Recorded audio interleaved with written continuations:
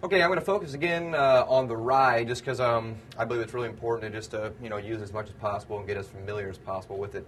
Um, one of the songs I did in a past album, um, I, I ride the bell of of the actual ride cymbal. I, I should say I use the bell of the ride cymbal, uh, and I roll on it. And um, and what that does is when you when you hit the bell, it really cuts through all the sounds. So especially when you play live you know, you strike that bell and uh, everybody can really hear. It's very distinct.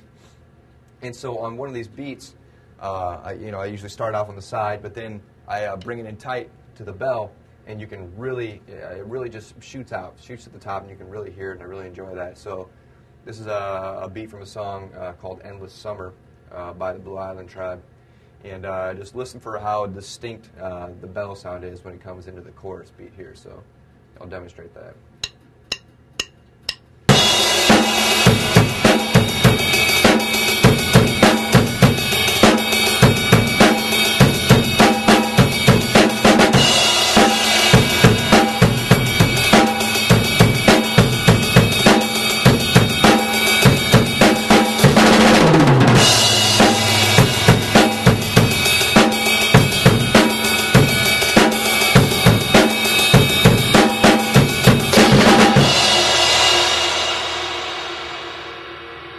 So just by rolling on that bell, uh, that the sound just pierces through everything else, and it's uh, you can hear it very well.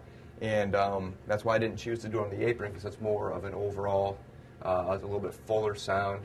And uh, the bell is just very appropriate for the song that I was playing. So if you want to do a fill or something that just shoots to the top of the sound, utilizing the bell is a really good idea for that.